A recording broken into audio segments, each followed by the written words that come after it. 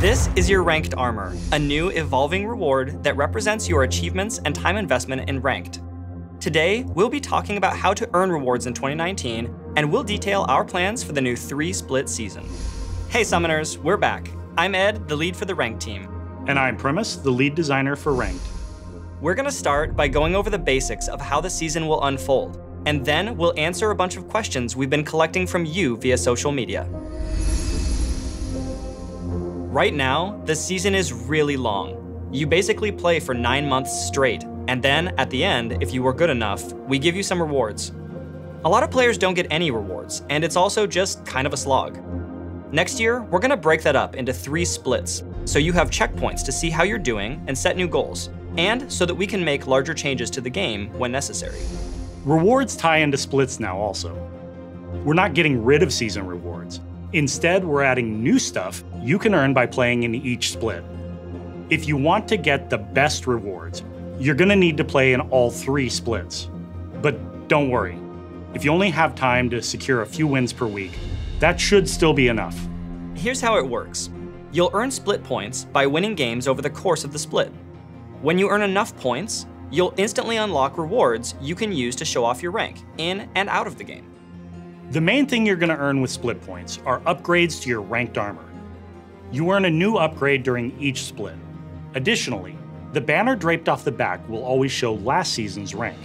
That means by the end of 2019, your armor will reflect your current rank, all your upgrades you've earned from splits during the season, and your rank from 2018. So, two seasons of your rank journey. And one last thing about your ranked armor and banner. They're gonna follow you to a bunch of new places, including your profile, hover card, rank dashboard, loading screen, and lobby. Now you'll always be able to remind your friends that you've got that shiny gold armor and they don't. And in terms of season rewards, we're at least going to keep the Victorious skin. We'll talk more about what else we have planned after we kick off the season and you're all smoothly climbing your way to Challenger.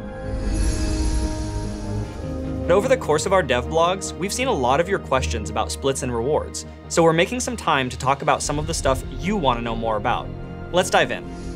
Is the Victorious Skin reward staying at gold? Yeah, that's the current plan.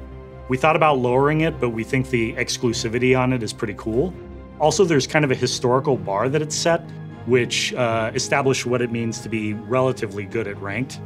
And we don't want to undermine those of you who got the reward in past seasons by making it cheaper and easier to get now.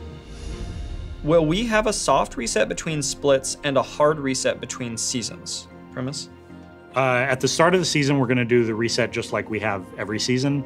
But when a split ends, we're not going to do any reset at that point. That would come across as just being way too grindy. And we actually are looking for you to maybe assess your progress over the course of the season, maybe set some new goals at that point instead. Will there be a short time off in between splits, or will it just go straight to the next split? We're not uh, planning to take any time off in between splits. We want to make sure that ranked is available whenever you want to play it, and uh, it doesn't make sense to have long periods of downtime that would interrupt that. What happened to the Challenger Recall reward? Well, it's been a long time coming, but we can say that the Challenger Recall is finally launching at the beginning of next season. The way it's gonna work is whenever you're Challenger, you'll have that recall. And we think it's a really awesome reward type because it basically gives you bragging rights and represents your achievements in the game. Is there any payoff for hitting certain ranks in multiple positions? Could a possible 5 Victorious skins or extra chroma be on the table? Well, the short answer is no, but at the same time, we do want to reward players for mastering multiple positions. And we think a good reward shows off your skill or is really meaningful if you play that position. But the Victorious skins don't really do that. So we'll be looking for ways to do that as part of season rewards, and if you have ideas, we'd really love to hear them. All right, that's all the questions we've got time for on splits and rewards, but let us know if you like this format and maybe we'll do it again in the future. And as always, we want your feedback on our plans. Hit us up in the comments, on social media, or send your questions to Ask Riot. Thanks for playing everyone, and we'll see you on the Rift.